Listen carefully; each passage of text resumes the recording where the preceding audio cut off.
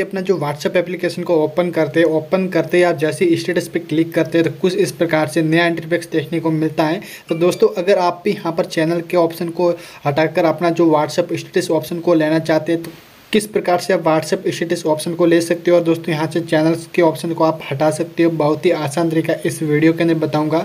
और दोस्तों, यहाँ से आपको चैनल का ऑप्शन मिलेगा। या चैनल का ऑप्शन भी यहाँ से हट जाएगा एकदम लाइव प्रूफ तो किस प्रकार से आपको चैनल के ऑप्शन को हटाना होगा? दोस्तों, इसके लिए आपको क्या करना है? यहाँ से आपको सबसे पहले अपना जो व्हाट्सएप एप्लीकेशन यहाँ से ओपन कर लेना है।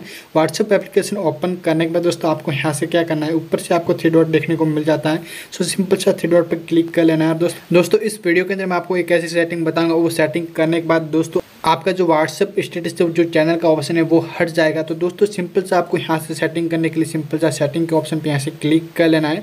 इस पर जैसे ही क्लिक करते हैं, दोस्तों, यहाँ से क्या करना है? सिंपल सा आपको यहाँ से एक नीचे ऑप्शन देखने को मिल जाएगा। जैसा कि भी आपको सामने देख सकते हो चैट्स का। तो सिंपल सा इस ऑप्शन पर यहाँ से क्लिक कर लेना और दोस्तों, यहाँ से आपको नीचे, सबसे नीचे चले जाना है, ताकि आपका जो डाटा है, वो आपको इसके अंदर से डिलीट ना हो। तो सिंपल सा सबसे पहले आपको डाटा को बैकअप ले लेना है। तो और दोस्तों डाटा बैकअप किस प्रकार से लेना मैं आपको बता देता हूँ। तो सबसे पहले दोस्तों, यहाँ से नीचे आपको गूगल अकाउंट को यहाँ से ऐड कर देना है।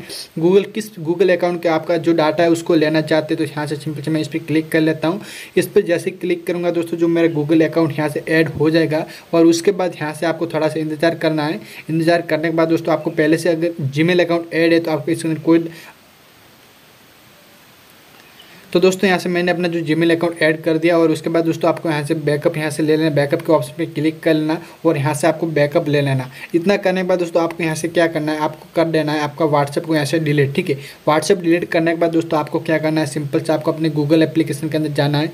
गूगल एप्लीकेशन ओपन करने के बाद दोस्तों, यहाँ से आपको सर्च बार में करना है।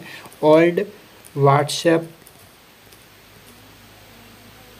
वर्जन इतना आपको सर्च कर लेना। ओल्ड व्हाट्सएप वर्जन इतना जैसे सर्च करते हो जैसे दोस्तों आप इतना सर्च करते हैं दोस्तों सबसे ऊपर यहाँ से व्हाट्सअप मैसेंजर नाम से एक वेबसाइट देखने को मिल जाएगी old version of WhatsApp messenger तो सिंपल सा इस वेबसाइट पे यहाँ से क्लिक कर लेना है।